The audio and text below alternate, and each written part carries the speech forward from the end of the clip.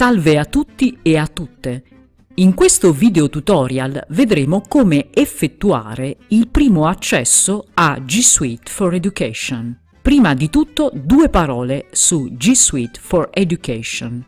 L'espressione indica la serie o suite di strumenti e di servizi che Google ha realizzato appositamente per il mondo della formazione, l'education.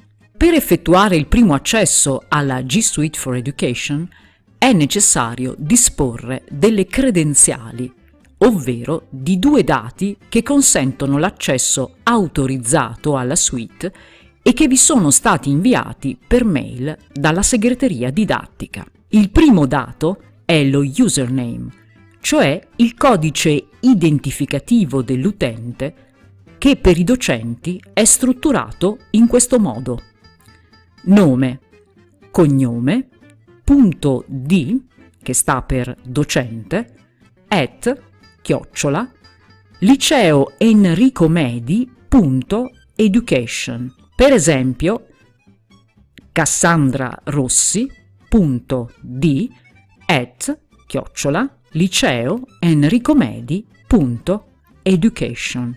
La seconda credenziale d'accesso è la password, cioè una chiave d'accesso iniziale che dovrete modificare in seguito e personalizzare.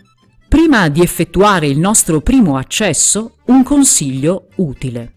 Per gestire separatamente la G Suite for Education istituzionale, cioè quella fornita e gestita dalla scuola, è opportuno usare un browser, cioè un programma per navigare in Internet, diverso da quello che utilizziamo abitualmente per le nostre attività personali in rete, compreso il nostro account di posta elettronica. In parole povere, il consiglio è questo. Uso Chrome, il browser di Google, con il mio account personale di Google per le attività che non riguardano strettamente la G Suite della scuola.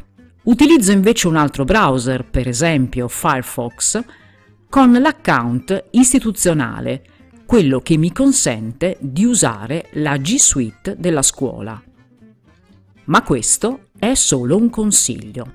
Dal nostro desktop selezioniamo il browser o programma per navigare in Internet che intendiamo utilizzare.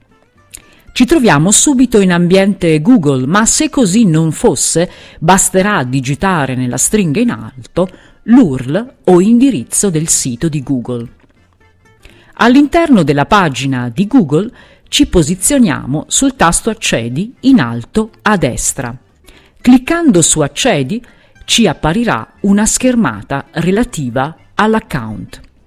Qui ne vedete diversi perché ho già utilizzato questo browser con diversi account. In ogni caso, basterà selezionare l'opzione Utilizza un altro account. Nello spazio riservato all'indirizzo email o numero di telefono digiterò lo username istituzionale e cliccherò sul tasto Avanti. A questo punto inserirò la password che mi è stata fornita dalla scuola e che utilizzerò solo ed esclusivamente per il primo accesso. Come prima, cliccherò sul tasto Avanti. L'operazione che abbiamo eseguito fin qui ci ha consentito di creare il nostro account istituzionale di Google. Istituzionale significa che l'insieme di funzionalità, strumenti e contenuti attribuiti a un nome utente non è fornito da Google direttamente all'utente, ma tramite un'istituzione, in questo caso la nostra scuola. Pertanto l'account istituzionale è diverso da quello personale e va gestito separatamente.